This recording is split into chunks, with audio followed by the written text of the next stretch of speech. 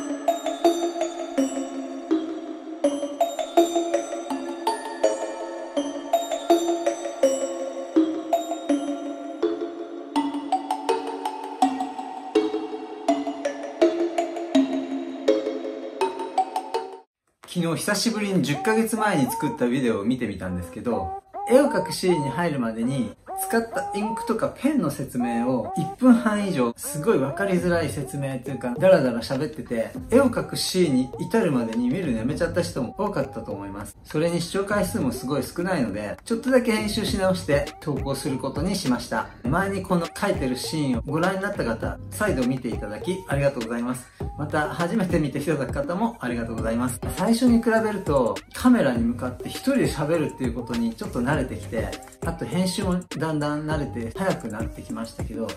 絵を描くシーンに関しては慣れれば慣れるほど時間がかかるようになっちゃってカメラの位置を頻繁に変えたり編集する時も面白くするために一コマ一コマもう数秒とか 0. 何秒とかの感覚でもうコマコマに入れて別に時間がかかるアピールをしてるんじゃなくて最終的な目的はより面白い動画を皆さんにご覧いただきたいと思うのでぜひ今後もご視聴よろしくお願いいたしますこの動画が良かったと思った方はぜひグッドボタン高評価、いいねなどもいただけると嬉しいです。また、チャンネル登録などいただけるとありがたいです。というわけで今日も最後までご覧いただきありがとうございます。また次回お目にかかりましょう。さよなら。